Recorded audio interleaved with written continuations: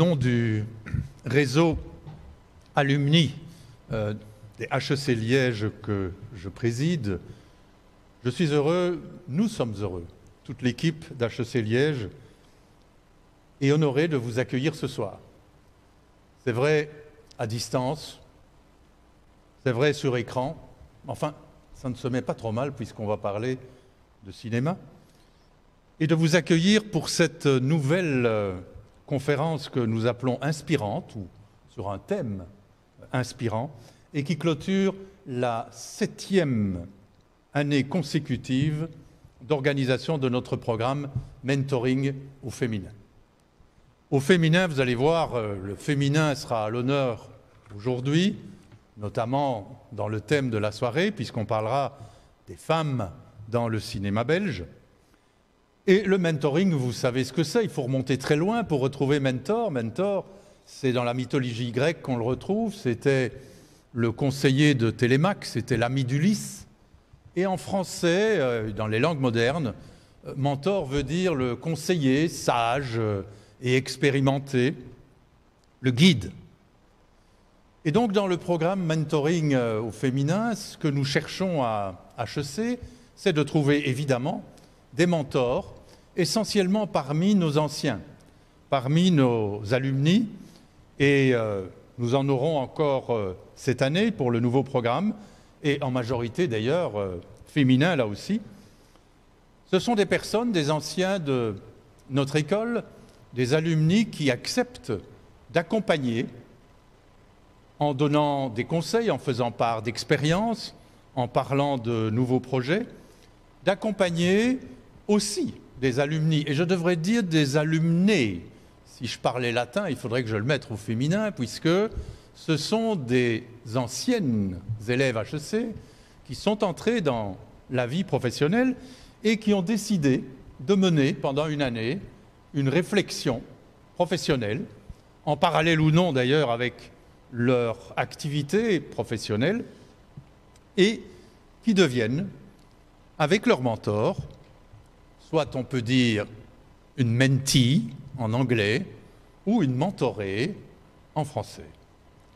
Alors aujourd'hui, bah, nous clôturons le programme 2020, euh, mais nous lançons aussi le programme 2021 euh, et en réalité 27 nouveaux binômes, je dis binôme, c'est-à-dire l'alliance entre un mentor et une mentorée. Alors mon rôle, oh, il est bref, maintenant, c'est un de remercier. Remercier les mentors. Merci à ceux qui terminent leur programme aujourd'hui. Merci à ceux qui se lancent dans l'aventure en 2021, non seulement pour ce qu'ils apportent aux jeunes, non seulement pour ce qu'ils apportent, vont apporter ou ont apporté aux mentorés, mais aussi pour ce qu'ils apportent à HEC. Parce que pour l'école, pour nous, ils apportent l'évidence, ils donnent la preuve de ce que nos études ouvrent bien des portes dans des domaines divers et variés, et parfois d'ailleurs euh, inattendus.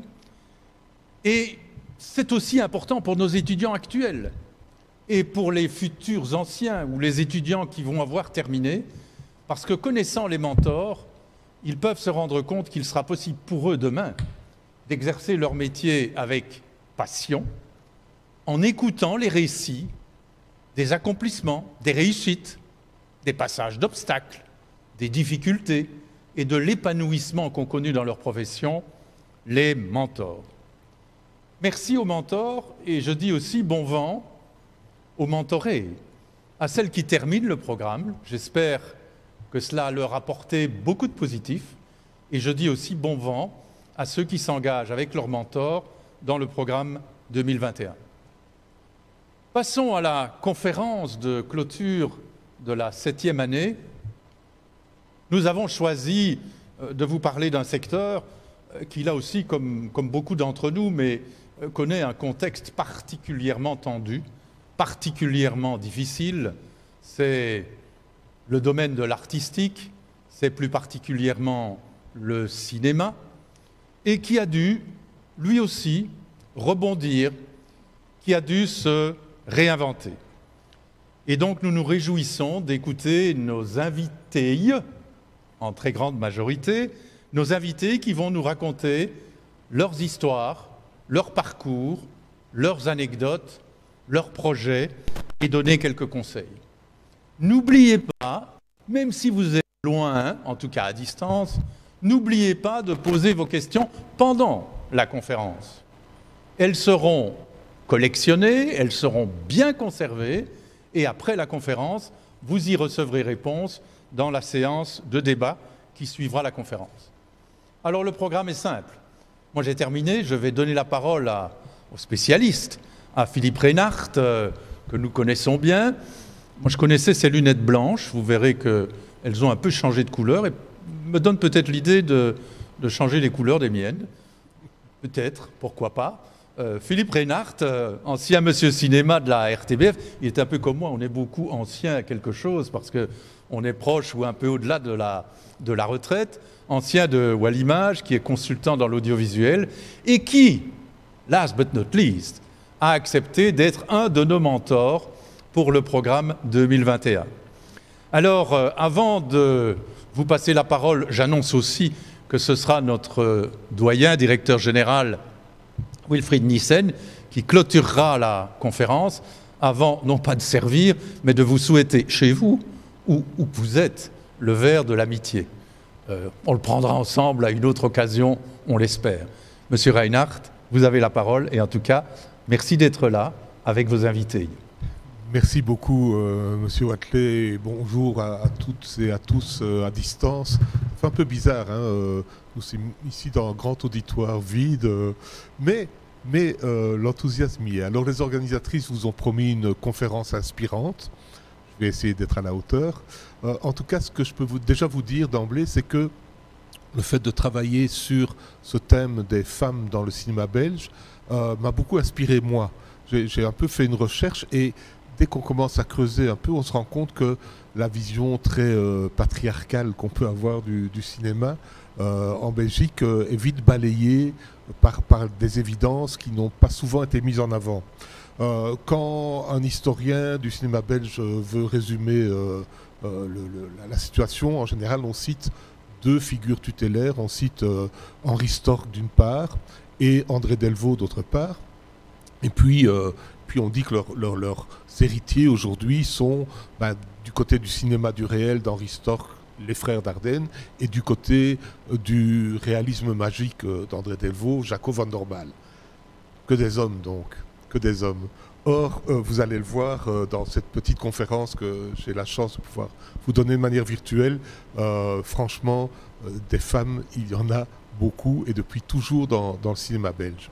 Alors pour appuyer mes propos, on a la chance effectivement d'avoir euh, des invités, une en chair et en os. Euh, ça n'est pas une appréciation, mais c'est parce que tu es là. Donc, euh, Annabella, Nesri, productrice, qui, qui nous a fait le plaisir de venir ici à Liège pour cette conférence. Et puis, Véro Kratzborn, qui est réalisatrice. je suppose que vous la voyez sur vos écrans, bien qu'elle soit loin, elle est, à Paris. Et puis euh, Virginie Nouvelle, euh, qui elle euh, fait un métier très à part, puisqu'elle est la patronne d'un fonds d'investissement dans le cinéma ou à l'image. Voilà, ces trois personnes, on aura l'occasion de parler avec elles, mais je voulais les présenter d'emblée. Et puis là, je vais me, lancer dans, bah, dans, un, petit descriptif qui va vous montrer que, en fait, le cinéma belge existe, était très bien illustré depuis les débuts du cinématographe, tout simplement. Et grâce à qui? Grâce à nos comédiennes. Alors voilà, euh, vous allez voir, euh, ben voilà, vous voyez euh, trois visages que j'ai choisis. J'aurais pu en choisir bien d'autres. Ça sera toute la difficulté de cette conférence, c'est que j'ai dû faire des choix. Mais ben, commençons avec Berthe Bovy. Pourquoi commencer avec Berthe Bovy? Parce que c'est une liégeoise, mesdames, messieurs, et que faut être un petit peu chauvin quand même quand on est à HEC Liège. Alors, Berthe Bovy, c'est la fille de Théophile Bovy. Alors bon, si, euh, s'il y avait plein de monde dans, dans, la salle, je pourrais demander connaissez-vous Théophile Bovy Et tout le monde me répondrait oui, bien sûr, c'est l'auteur du chant des Wallons, rien de moins. Euh, donc Berthe a, vécu euh, dans, l'ombre de son papa euh, et dès son très jeune âge, à 6 ans, elle était déjà sur les planches pour jouer des pièces en wallon, bien sûr, puisque à l'époque, il y avait une fierté de, notre langue. Et, donc, avec son père, elle va assister, quelques années plus tard, quand elle est adolescente, à un spectacle de Sarah Bernard. Sarah Bernard, c'était la méga star de l'époque. Euh, et comme euh, papa, euh, Théophile, était bien introduit, elle aura droit à passer dans la loge de Sarah Bernard, à qui elle explique qu'elle veut faire du théâtre comme elle. Donc, quelque part, Sarah Bernard devient son mentor. Et, et à 19 ans, Berthe Bovy quitte Liège pour monter à Paris c'est une expression montée à Paris, hein, parce que quand, on quitte Liège, on descend à Paris en fait, mais la, voilà, l'expression est toute faite. Euh, et donc Berthe se retrouve euh, euh, dans les cours de Sarah Bernard, qu'il a fait entrer après un an à peine à la comédie française, donc l'endroit le, plus prestigieux. Et figurez-vous que en 1908, donc elle a à peine 21 ans, elle tourne pour la première fois dans un film parce que le cinématographe commence à se développer, fait ses premiers pas, et elle tourne pas dans n'importe quel film, elle tourne dans un, film à suspense qui s'appelle L'assassinat du duc de Guise, c'est une reconstitution historique, euh, et, ce film, figurez-vous, est entré dans l'histoire du cinéma, pas à cause de Bert Bovy qui n'y a qu'un tout petit rôle, mais à cause du fait que c'était évidemment un film muet, euh, mais que pour la première fois, un compositeur avait composé une musique spécialement pour le film, et le compositeur c'était Camille Saint-Saëns. Alors tous les archéologues du cinéma connaissent ce film, euh, euh, l'assassinat du duc de Guise, j'avais peur de me tromper de, titre. Euh, bon, je vais pas pouvoir vous raconter toute la vie de Berthe Bovy parce qu'elle est décédée, figurez-vous, à 90 ans, donc ça fait une très très longue carrière et, je vois déjà les organisatrices qui s'inquiètent que je sois trop long. Mais mais quand même vous dire que euh, notre compatriote, c'était une vraie pétroleuse. Parce que à peine débarqué à Paris, il a une liaison avec Sacha Guitry, qui était une star, c'était Alex Vizorek de l'époque, hein, Sacha Guitry. Euh, et là, elle s'est mariée trois fois, la dernière fois avec Pierre Freinet, qui était aussi une, une méga star. C'est pour elle que Jean Cocteau a écrit La Voix humaine, euh, une de ses pièces les plus célèbres. Et donc, comme je disais, euh, elle a une longue carrière où elle s'est spécialisée après-guerre dans les rôles de, vieille dame indigne qui, fait frémir tout le monde. Elle a joué beaucoup avec Fernandel, par exemple, euh, pour vous donner des références. Elle est décédée à 90 ans avec dans son testament une clause qui devrait faire plaisir au cœur des Liégeois, c'est qu'elle a demandé à être enterrée à Sainte-Walburge, elle qui a fait toute sa, sa carrière euh, à Paris. Euh, et donc j'ai eu l'occasion d'aller me recueillir sur la tombe de, de Berthe Bovy. Madeleine Oseret, sa voisine sur euh, notre diapositive, euh, elle, c'est la jeune première dans toute sa splendeur, un visage d'ange, séductrice à mort. Elle, elle est de Bouillon, Madeleine, et elle monte aussi à Paris à 19 ans. elle, elle a un, mentor plus que célèbre, puisque elle, elle se sous la direction de Louis Jouvet, euh, avec qui finalement elle aura une, liaison amoureuse qui va durer 15 ans.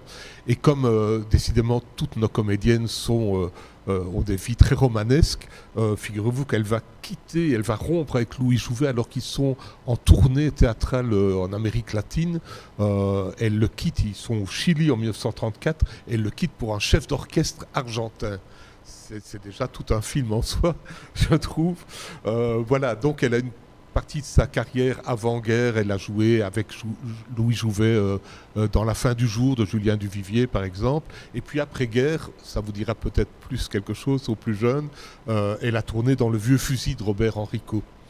J'ai envie de vous parler d'une troisième personne, mais très brièvement, qui est Francine Vandel. Alors, elle est beaucoup moins, euh, elle a tourné beaucoup moins que, les deux autres, euh, mais elle a tourné dans un fameux film, puisqu'elle elle était Mademoiselle Bellemans dans le mariage de Mademoiselle Bellemans. La troisième version, parce que ce film a eu trois versions, en 1951. Pourquoi je la cite, euh, Francine Vandel? C'est parce que du coup, elle a été jusqu'à la fin du XXe siècle l'actrice belge la mieux cotée au box-office français, grâce au mariage de Mademoiselle de Le Mans, qui l'eût cru. Mais voilà, euh, toutes ces comédiennes, comme vous l'avez compris, ont été obligées pour faire carrière de partir euh, à Paris. C'est pour ça que j'ai légèrement changé le titre euh, pour deux dias de la conférence, en parlant plutôt de la place des femmes belges dans le cinéma, de la place des femmes dans le cinéma belge, puisqu'elles ont fait carrière essentiellement à l'étranger. Pourquoi? Bien parce qu'on a un tout petit marché la Belgique francophone, ben, c'était pas évident et ça ne l'est toujours pas de rentabiliser un film rien que sur notre petit public. Donc notre marché intérieur, en fait, euh, c'est la France.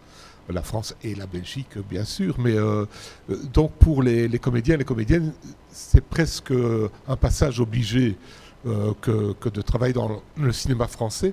alors le problème, c'est que elle s'exporte, ça c'est la version positive, ou bien elle s'exile et elles ne reviennent plus. Euh, si on prend les, six comédiennes, là encore j'ai fait des choix euh, qui sont illustrés par la DIA maintenant, ben, euh, Marie Gillin, je dois continuer aujourd'hui encore à expliquer aux Français qu'elle n'est pas française, qu'elle est, est liégeoise, encore une liégeoise.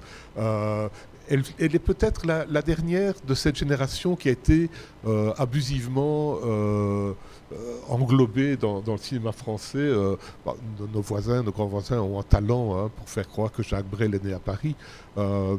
Euh, bon, ça a changé beaucoup grâce à Yolande Moreau et à Benoît Poulvord, parce que ces deux-là, franchement, faire croire qu'ils étaient parisiens, c'était un peu compliqué.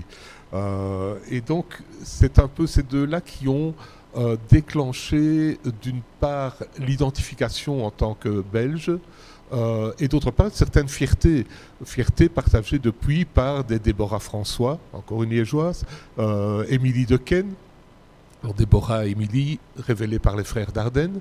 Euh, et puis, bon, les, deux grands phénomènes au box-office français, c'est Cécile de France et Virginie Efira.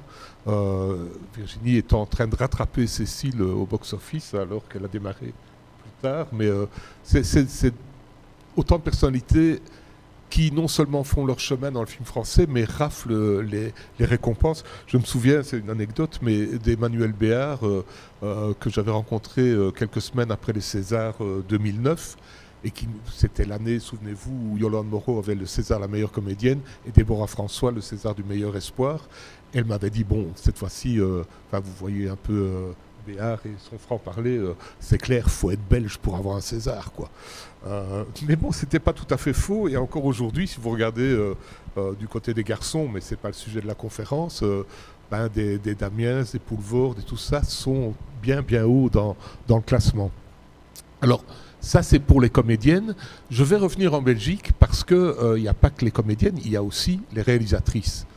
ça, c'est un autre des grands métiers du cinéma. Euh, et là, ben, ça s'est fait plus progressivement. Euh, on n'a pas de grandes réalisatrices avant euh, que se créent les écoles de cinéma, l'IAD, l'INSAS.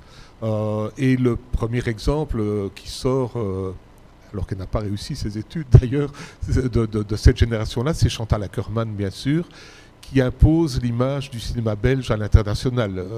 je pense que Chantal a été connue à New York avant d'être connue à Bruxelles. Euh, il y a vraiment une reconnaissance qui s'est imposée.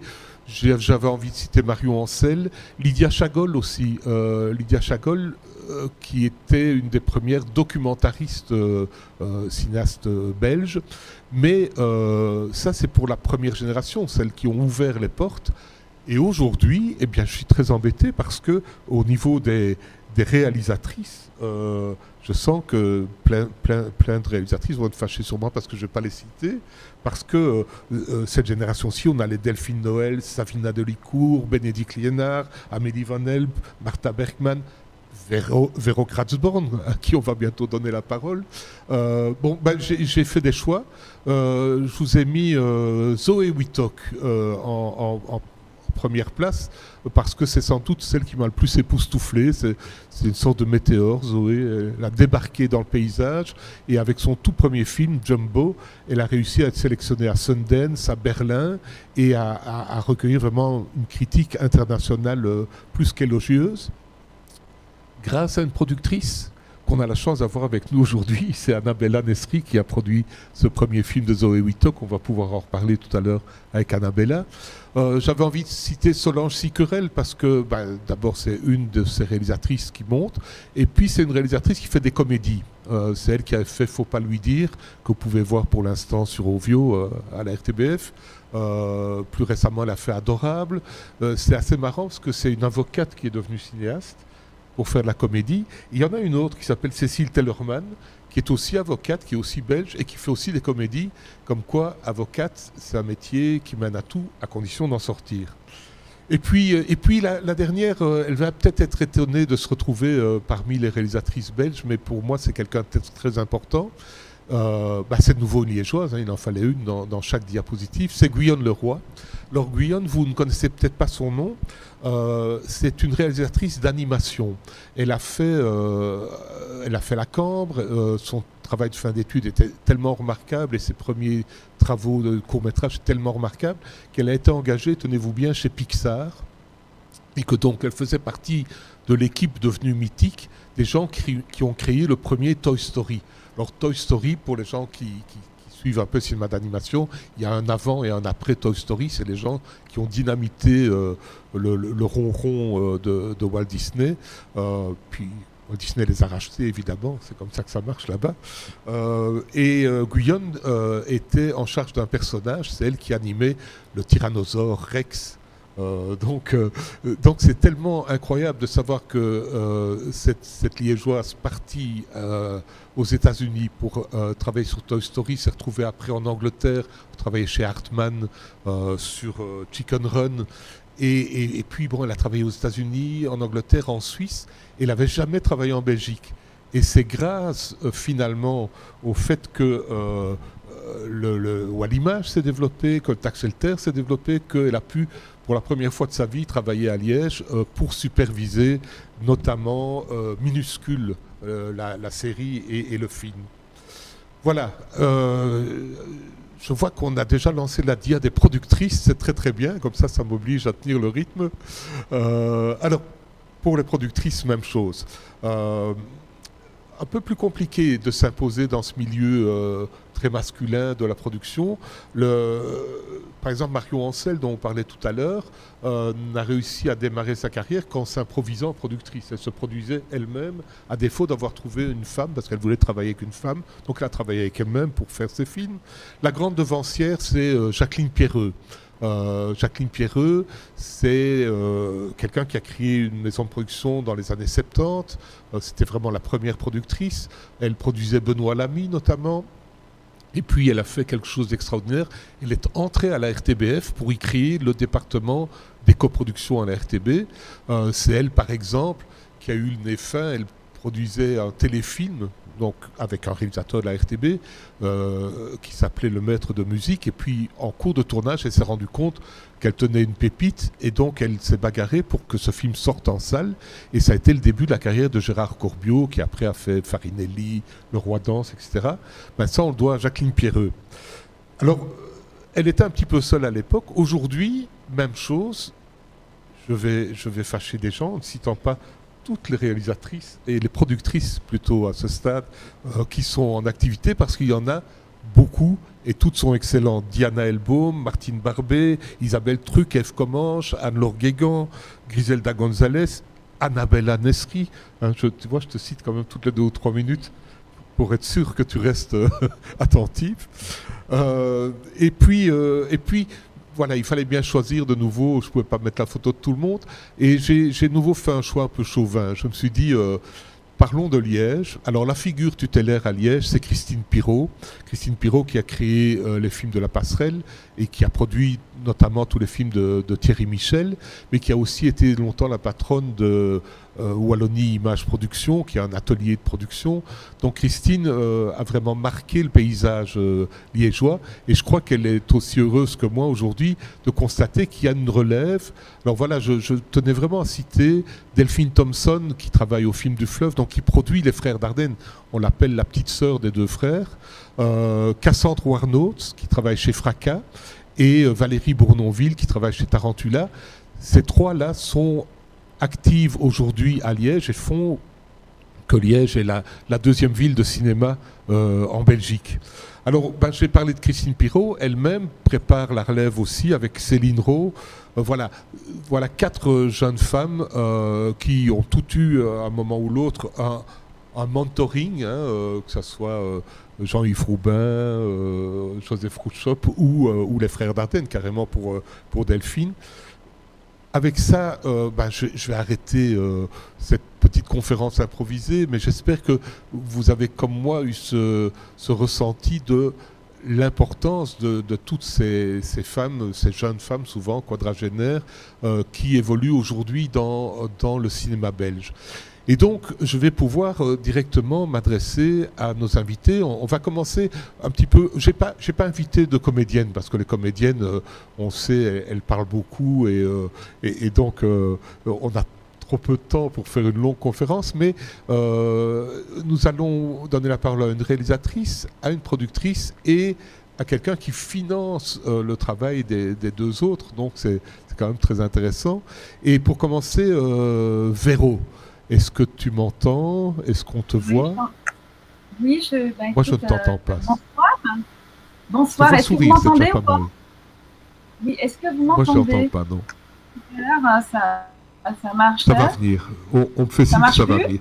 Bon, alors je, vais meubler un peu en disant ah, que pour toi la soirée n'est pas anodine, Véro, puisque ton film euh, sort ce soir en Guadeloupe. Parce qu'en Guadeloupe, les cinémas sont ouverts et donc, euh, tu, nous fais la gentillesse d'être avec nous alors que, je ne sais pas, moi, à ta place, j'aurais été en Guadeloupe quand même. Mais bon. Mais pas la situation actuelle, est-ce que vous m'entendez là maintenant? Je te, je te vois bouger les lèvres, hein, donc c'est assez intéressant. bah, je sais pas ce qui Ah, ah j'entends un début de son.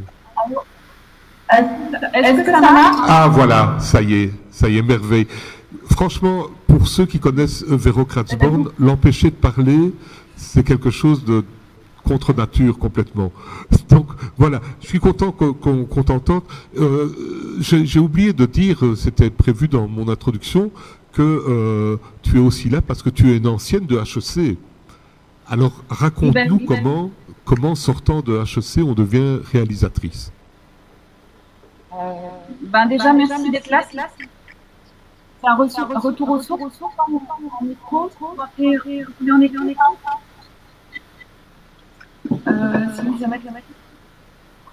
Attendez, je fais juste un petit truc. Excusez-moi. C'est ça, les aléas de la technique. Hein. C'est bon? Est-ce que vous m'entendez ou pas? Pardon. Ok, ok, d'accord. Bon, je, vais faire ça pour pas qu'il y ait de l'écho. Le film de Véro, le son est parfait, hein, donc n'hésitez pas à, visionner euh, La forêt de mon père. Euh, euh, alors, alors, alors, juste, juste, ouais, juste pour dire, c'est que euh, ce soir, donc, euh, ce soir, donc, la forêt de mon père est en Guadeloupe, est en Guadeloupe, et que je suis très heureuse que le, cinéma ici soit ouvert. Euh, c'est un peu compliqué parce que contrairement à la test, je m'entends en écho. Attends, écho. Voilà, donc je vais, je vais, je vais, je vais commencer.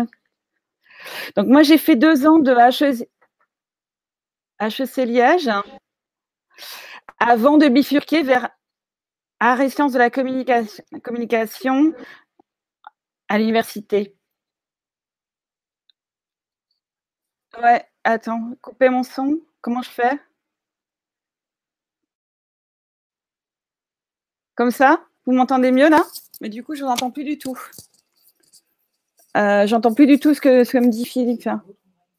C'est dans l'autre oreille, donc. Euh, Alors, je vais, faire ça, vous me ferez un petit signe pour m'arrêter de parler. Comme ça, ce sera mieux. Euh, donc, bonsoir. Moi, j'ai étudié à Liège au XXe siècle. j'ai fait deux ans d'HEC, donc bachelor, hein, ce qui m'a énormément servi dans mon parcours de cinéma. Parce que j'ai, après une bifurcation vers arrêt de la communication à l'Université de Liège, je suis partie d'abord au Québec, où j'ai travaillé euh, dans l'industrie audiovisuelle, et je suis euh, arrivée à Paris, où j'ai travaillé à Europa Cinéma pour le programme Média, et ensuite, euh, logiquement, chez un producteur de cinéma, Bruno Pézri. Et ma connaissance à la fois économique, ma curiosité de cinéma, puisqu'on a une super école aussi à l'Université de Liège en arts et sciences de la communication, et ma connaissance des langues, moi je viens de tout à l'est de la Belgique, et ben ça, ça m'a permis de, voilà, de, découvrir par l'intérieur, par les coulisses, le monde du cinéma. Et j'avais d'ailleurs amené le tournage des Destinées sentimentales euh, à la Louvière, voilà, aux usines de Boc, euh, où euh, Olivia Assayas, les Destinées sentimentales, a, tourné son film là. je suis très attachée à la fois à, à, à, ma Belgique et en même temps, je vis, je vis à Paris. J'ai fait quelques courts-métrages, deux documentaires, une expérience digitale, et ensuite euh, j'ai euh, euh, et ensuite j'ai fait La forêt de mon père, qui est produit par une productrice wallonne, Isabelle Truc, avec sa société Iota Productions. Voilà. La forêt de mon, belge, mon père, vous pouvez la voir dans Tapis Bleu pour, pour le cinéma belge, donc sur, en VOD. et, donc voilà, je ne sais pas ce que je peux dire d'autre. je... Comme je vous entends pas, c'est un peu compliqué. Qu'est-ce qu'on peut faire pour que Véro m'entende Je viens de, remettre le, le, son. Voilà, tu m'entends là? Ouais. ah ben voilà. Non, parce que tu, tu as parlé euh, de, de, de, de tes courts-métrages, de ton activité euh, multiforme dans le cinéma. Donc, ça fait des années que tout le monde te suit du coin de l'œil en disant, bon, quand est-ce qu'elle le fait, son long-métrage euh, pourquoi ça a été si long? Est-ce que, est que le fait d'être une femme a été un frein pour toi? Alors c'est une, une, question parce que dans un parcours de... je vais juste remettre ça. Dans un parcours, euh, en fait, il y a aussi euh, le frein qu'on se met nous-mêmes. Je pense que j'en ai parlé aussi avec, avec des consorts. C'est-à-dire que euh, on a envie d'avoir le film le plus parfait possible, le dossier le plus parfait. Donc peut-être que déjà on a quelque chose qui nous, euh, qui, voilà, qui nous retient, mais il y a aussi d'autres facteurs. Et je voulais euh, signaler, je remercie vraiment le collectif. Elles font des films et elles tournent, voilà, parce que c'est cette sororité-là, cette solidarité qui aide aussi à avoir de la force. Le parcours, il a été long d'une part parce que je n'ai pas fait d'école de cinéma aussi, donc du coup j'ai mis du temps à me former euh, aussi euh, par ailleurs. Donc j'ai fait un atelier pour adultes. Et ensuite parce que euh, voilà, on a de plus en plus de chiffres et de chiffres nécessaires pour questionner cette égalité aussi entre, enfin dans la place des femmes puisque c'est le thème de la conférence hein, dans le cinéma belge.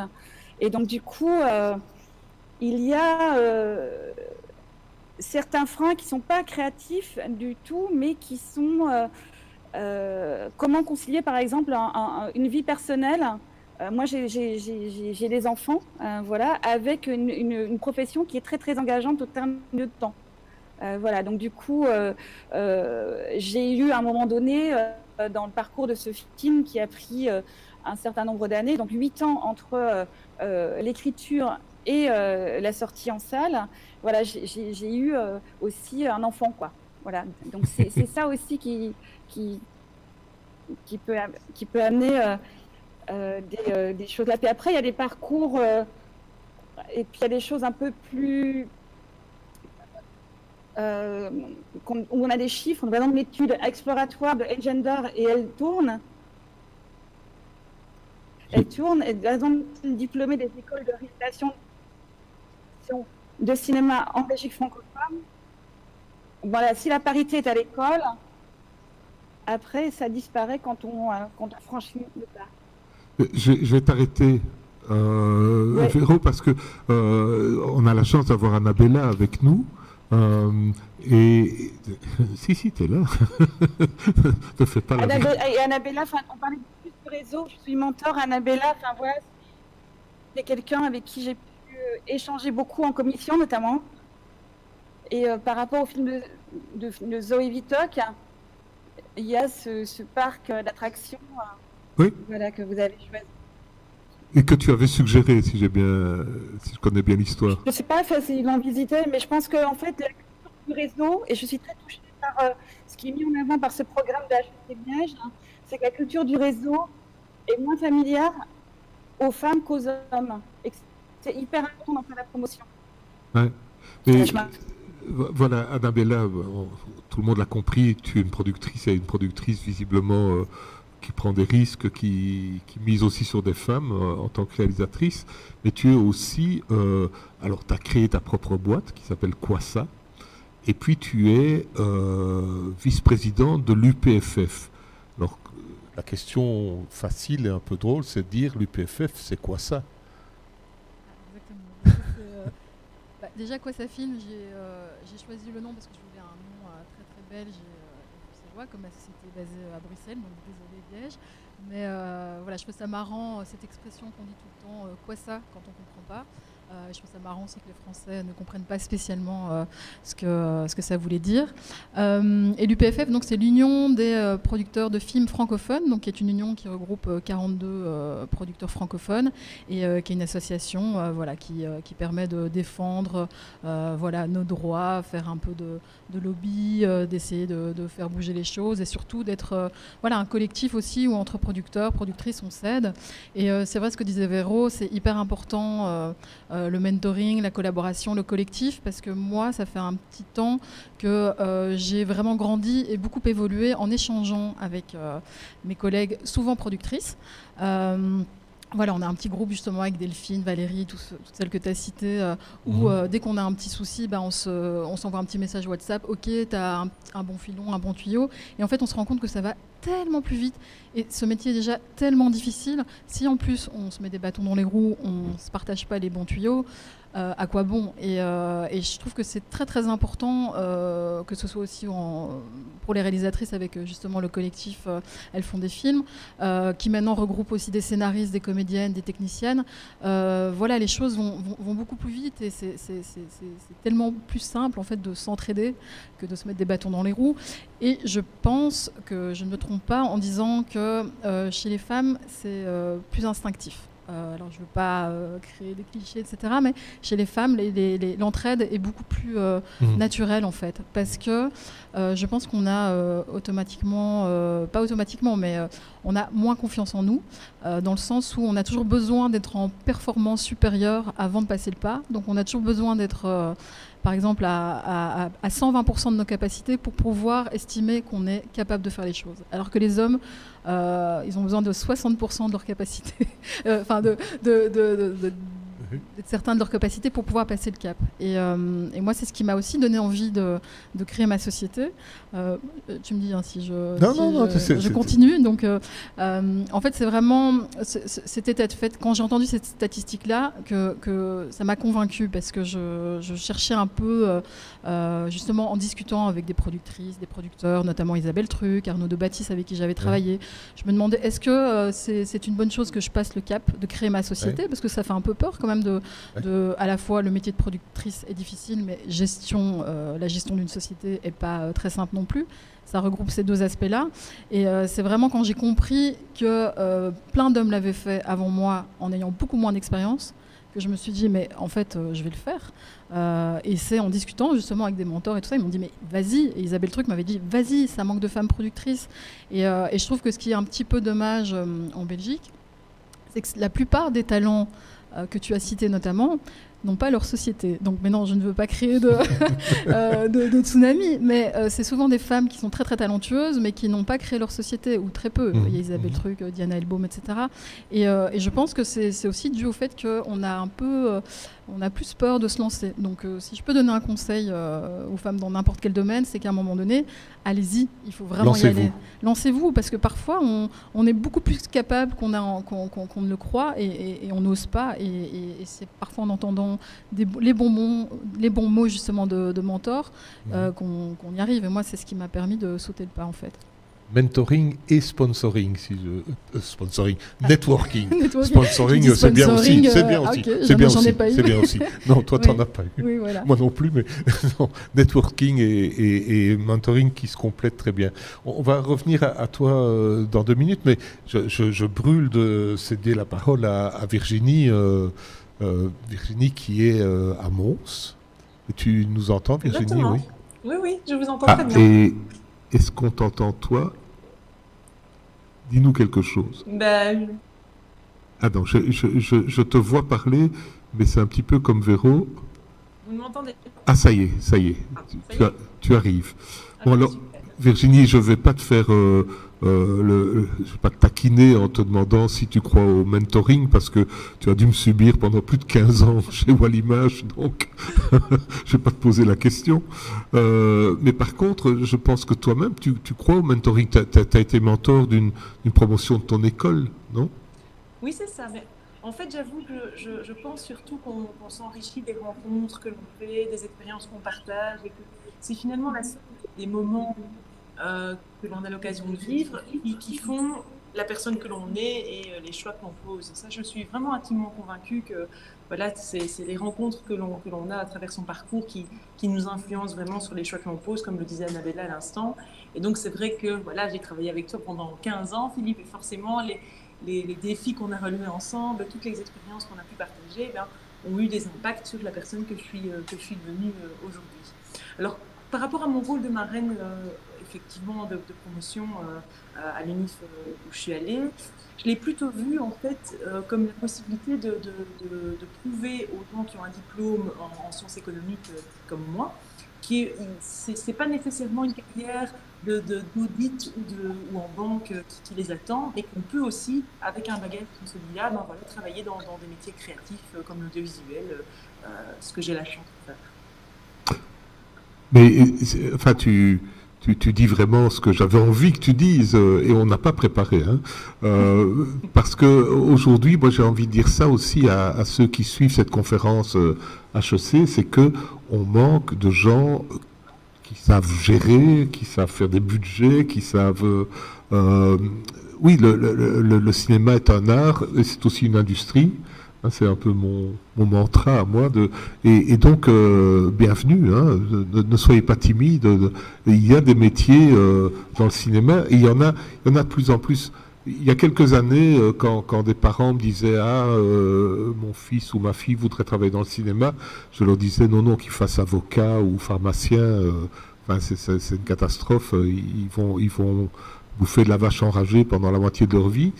Aujourd'hui, je dis pas que la voie est royale et facile, mais euh, avec le développement des plateformes, avec toute l'explosion du, digital, du numérique, j'ai le sentiment qu'il y a un appel d'air et qu'on a besoin, qu'on a besoin de, de, talents et notamment de talents euh, gestionnaires. Est-ce que, est-ce que je, c'est un bon diagnostic, euh, Annabella? Euh, De talents gestionnaires, oui, dans le métier de la production. Mais je pense que quand on veut devenir réalisateur ou ingénieur son, c'est pas spécialement nécessaire. bon, ça aide toujours, mais oui, je pense que la gestion et, et maintenant c'est une question peut-être aussi de formation. Je pense dans les écoles, on commence à avoir des formations en production, ce qui est super. Euh, et je pense qu'on travaille justement à la gestion, à tout ce qui est budget. Mais moi, quand j'ai commencé, euh, bah, j'avais pas une formation euh, économie. j'ai fait bah, du droit aussi et sciences politiques. Et j'ai vraiment dû me former, comprendre comment ça fonctionnait. Et pour la gestion de la société, quand j'ai décidé de lancer Quoi ça filme, j'ai fait une formation à Solvay avec un mentor qui m'a justement suivi dans mon business plan, mon business model, etc. pour m'aider aussi. Et c'était des choses, c'était des lacunes que j'avais et clairement que je devais combler. Mmh Parce qu'à un moment mmh donné, quand on crée sa société, on peut pas y aller en mode euh, ok je vais faire des films ça va être super si on n'a pas un minimum de connaissances en, management et en business. Non, mais tu vois, je profite qu'on a le micro euh, tous les deux, euh, et Virginie et Véro, chez HEC Liège, parce que comme on a, comme on a des, autorités ici, l'idée serait peut-être créer une spécialisation en direction de production à HEC. Hein, ça, ça, serait formidable. C'est c'est des métiers qui nous manquent, les directeurs de production. Tout à fait, et des administrateurs de production aussi. C'est très difficile euh, d'en trouver parce que euh, ben, c'est souvent des, comptables qui doivent se former, mais se former, ça veut dire euh, comprendre comment fonctionne un tournage, ce qui n'est pas chose simple non plus. qui est qui, qui fait quoi, ça prend énormément de temps et, et, nous, en tant que producteurs, on a du mal à trouver des bons éléments parce qu'ils sont souvent très pris et, et c'est des formations vraiment qui sont, qui sont passionnantes. donc effectivement, je pense que c'est ce serait très intéressant de se lancer là-dedans. Virginie, je, reviens vers toi et puis je retournerai vers, Véro. Euh, donc toi, tu es aujourd'hui, euh, à mes yeux, une des, meilleurs analystes des coproductions euh, qu'on ait en Belgique. Et c'est intéressant que ce soit une femme maintenant qui soit à la tête de Wallimage. et je signale d'ailleurs que c'est une femme aussi qui est à la tête du centre du cinéma de, de la Fédération Wallonie-Bruxelles. Donc c'est assez intéressant quand même d'avoir deux femmes à ces deux postes clés. Euh, quand, tu vois les producteurs qui, défilent, euh, qui viennent te voir pour euh, présenter leur projet, euh, quelle est ta position? Est-ce que est-ce que c'est pas un peu tentant Est-ce que c'est pas un peu un piège de, se transformer en mentor alors que en principe la relation est financière, elle n'est pas. En fait, c'est vrai que le rôle de l'image, c'est structurer l'industrie audiovisuelle. Donc, forcément, même si cette structuration, elle passe par l'octroi de financement, il y a aussi une notion de conseil et d'encadrement qui est nécessaire. Mais moi, ce que j'essaie de faire, euh, c'est de faire profiter de mon expérience, mais aussi de m'enrichir moi-même de l'expérience des producteurs avec, laquelle, lesquels j'ai la chance de travailler. Je pense que c'est vraiment un échange constant. Et si cette relation qu'on crée suffisamment de confiance, à un moment, d'avoir mon opinion sur leur vision, la stratégie qu'ils ont envie de développer, bah alors c'est que je fais bien mon boulot. Mais j'essaie de toujours le faire dans, le respect des compétences des uns et des autres et sans avoir un côté euh, donneur de leçons parce que je pense que c'est pas parce qu'on incarne un, organisme public qu'on voit qu'on doit avoir justement ce côté un peu donneur de leçons qui, est déplaisant parce que voilà chacun s'enrichit de ses propres expériences et a sa propre vision des choses. Alors, je, vais, me retourner vers Véro maintenant parce qu'il y a une catégorie de, de, femmes de cinéma dont on n'a pas parlé parce que voilà, on est limité dans le temps aussi. Ce sont les, techniciennes du cinéma. Euh, toi-même, Véro, quel est ton, ton sentiment sur euh, le niveau de, de, présence des femmes dans les métiers techniques du cinéma? Toi qui as pratiqué un petit peu tous les métiers. Hein ben, je vais pratiquer tous les métiers mais ce qui est certain, c'est qu'il y a un déficit de femmes aussi à certains postes. Et euh, il y a un travail qui fait aussi en, ce moment, je fais une réflexion autour de l'assistant aussi pour euh, avoir les techniciennes, comme par exemple des chefs opératifs, des étalonneuses, des monteuses. Nous, sur notre tournage, nous avons une régisseuse générale, électricienne de choix, Lily euh, Guéret. Et je pense que euh, c'est important aussi euh, pour encourager, on a beaucoup de modèles. On a besoin de modèles pour avoir de nouvelles entrantes. moi, j'ai travaillé avec Christine à l'université de Liège. Et Christine a été quelqu'un de déterminé dans, dans ma la volonté de travailler dans le cinéma. J'ai fait stage chez Wallaby et quand j'ai fait mon premier court métrage, ben, Christine m'a aidé. Voilà, donc c'est vraiment quelque chose tu, tu, tu, parles de Christine Pirou, hein parce qu'on on, t'entend malheureusement pas très très bien, donc euh, euh, je, vais, revenir euh, vers, la, productrice présente en studio. non, c'est marrant, en fait, c'est relativement récent qu'on a des, des femmes chefs opératrices, enfin je pense à Virginie Saint-Martin, des, gens comme ça, euh, les femmes ont longtemps été cantonnées dans deux métiers, monteuses, hein, on, disait presque pas monteur, c'était presque un mot qui n'existait pas, et euh, script, d'ailleurs on disait script girl, c'était devenu, euh, ça s'explique comment ça? Moi, j'ai l'impression que c'est aussi par rapport aux mentalités, par rapport voilà, à l'évolution des mentalités aussi.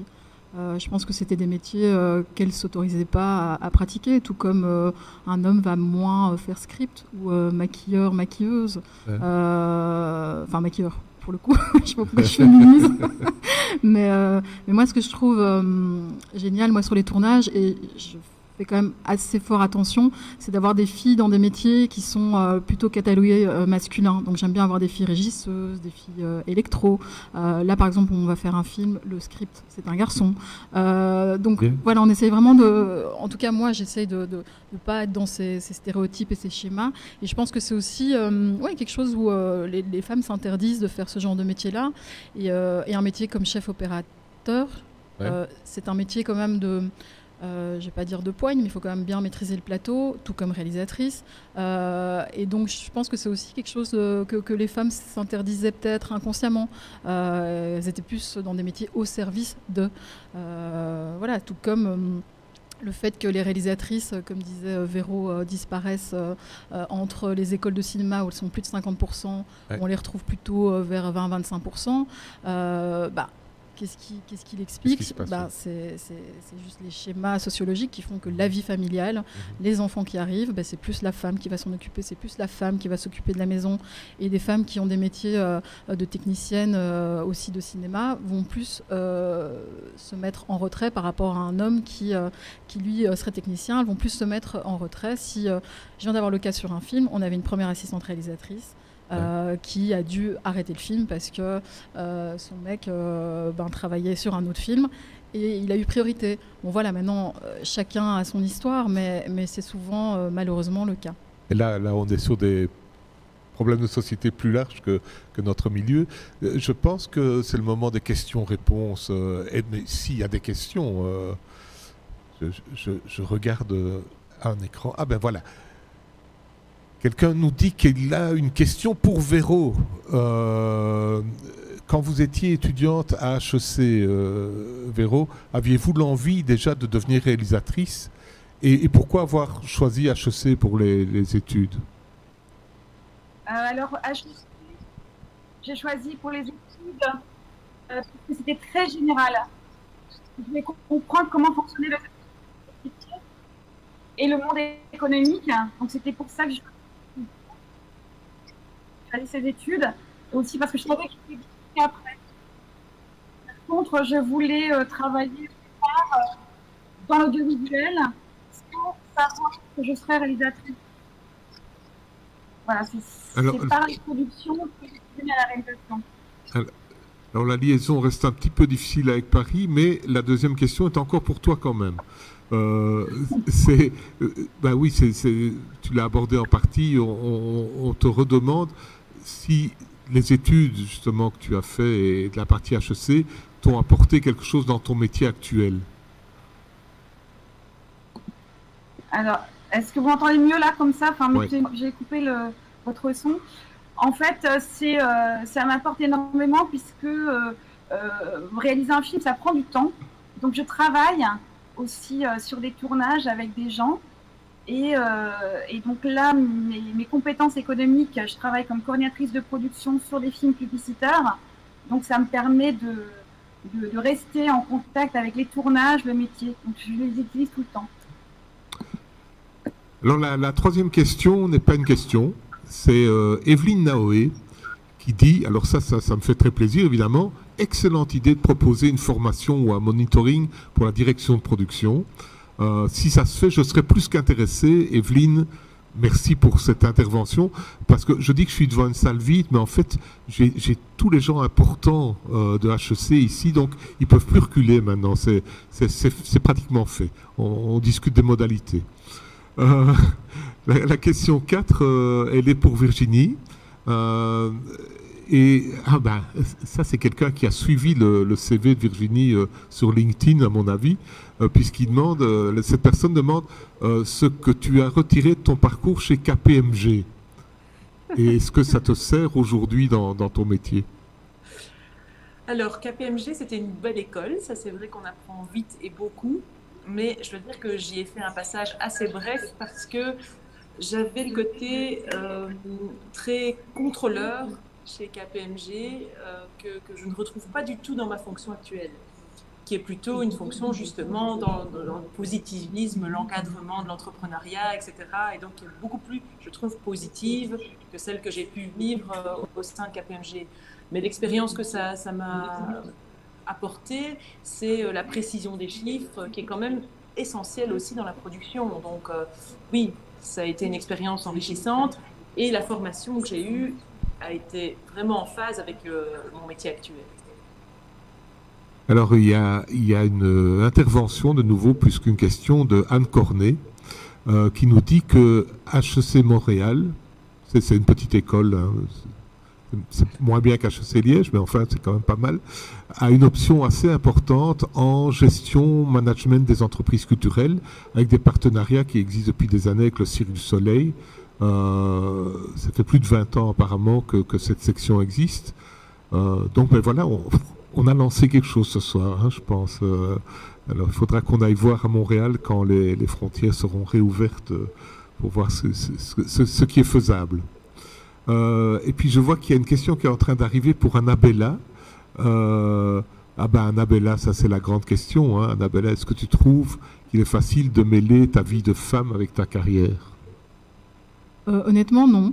C'est euh, beaucoup d'organisation, beaucoup de logistique. Euh, voilà, j'ai deux enfants.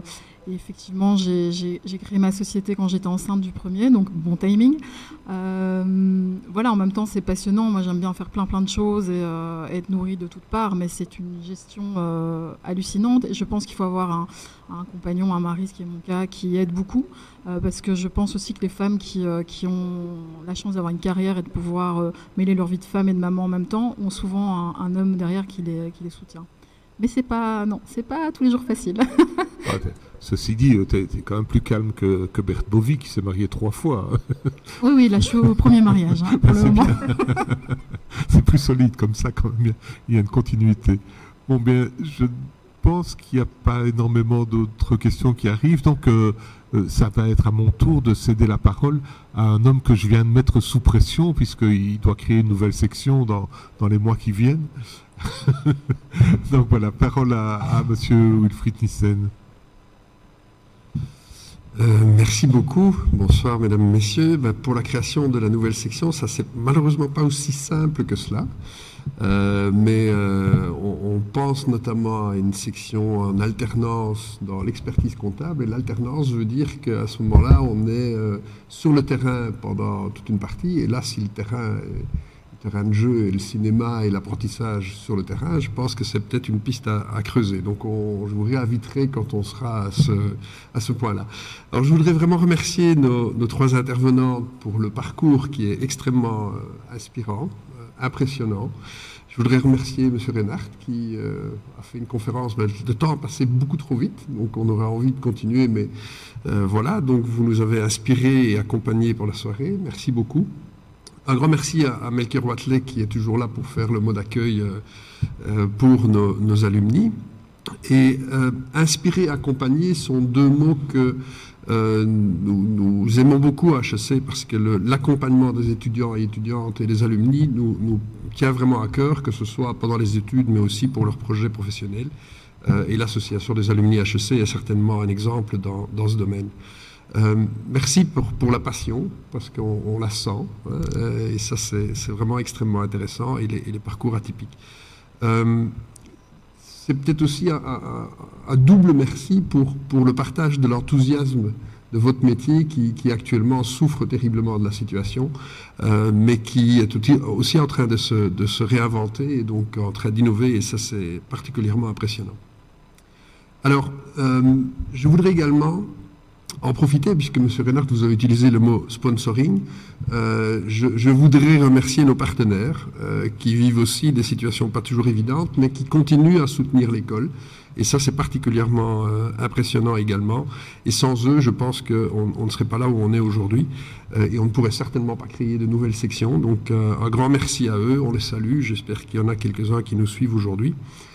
et un des exemples concrets de, ce soutien est le, prix Préon, entreprise liégeoise, que nous remettons euh, traditionnellement au moment de cette conférence à deux jeunes femmes qui viennent du Maroc. Euh, et donc aujourd'hui, euh, j'accueille également M. Bertin, qui est le Chief Human Resource Officer. Donc ça, c'est très impressionnant, de Préon. il doit nous suivre en direct parce que nous allons remettre les, les bourses Préon à deux jeunes femmes qui souhaitent poursuivre leurs études en Belgique et qui ont choisi HEC avec le soutien de, de Préon, comme on l'a dit. Euh, la première, c'est Madame euh, Aya, qui provient de l'ENCG Marrakech, et la seconde, c'est euh, Madame euh, Majdouli Botanaya, qui vient de l'ENCG CETAT.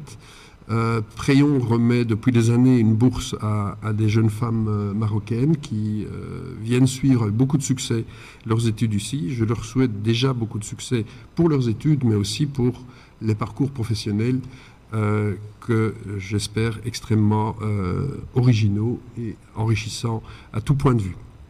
Alors, il est temps de conclure la, conférence. Euh, c'est normalement l'occasion de vous inviter à un verre, comme l'a dit Melker Watley. Ben là, malheureusement, ce ne sera pas possible aujourd'hui, mais je suis sûr que beaucoup d'entre vous ont déjà commencé à prendre l'apéro. Alors, euh, merci d'avoir accepté notre invitation de ce soir. Un grand merci à Nochac et la société Mitra qui nous soutiennent dans l'organisation de cette conférence. Et alors, je voudrais également euh, remercier Sabine Colson de la SRIW qui est à la base du programme Mentoring au, au féminin. Je suis sûr qu'elle nous suit. Euh, je voudrais également remercier l'équipe en interne, Aurore Tilquin et toute l'équipe qui est toujours présente tout au long du programme. Un grand merci à vous. Alors, restez en contact avec nous via les réseaux sociaux. Euh, nous y sommes très très actifs. Alors surtout, même avec le masque, inspirez-vous et inspirez-nous. Je vous souhaite une excellente soirée.